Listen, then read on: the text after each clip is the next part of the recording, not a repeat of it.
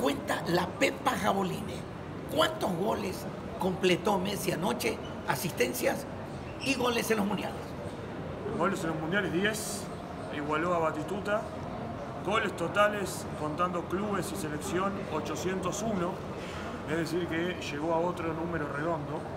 Asistencias tiene 8, igualó a Maradona como argentino con más cantidad de asistencias.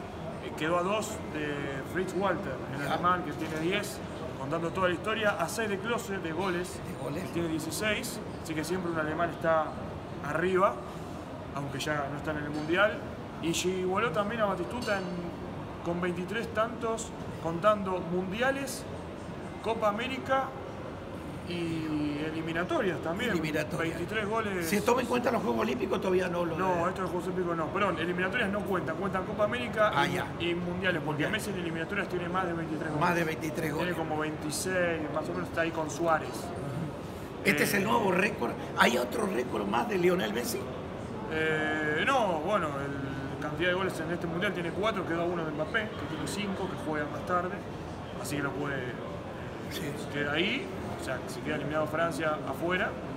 Pero nada. Si llega a la Messi. final Messi, ya sería el jugador histórico de los mundiales. Eh, sí, porque pasaría a Lothar Matthaus como el jugador con más partidos disputados en mundiales con 26. Hoy Messi tiene 24, va a jugar las semis con Croacia, lo va a igualar a Matthaus, otro alemán más, que tiene 25. Y obviamente Argentina por llegar a semifinales juega dos partidos sí o sí. Esperemos que juegue la final y no el tercer puesto.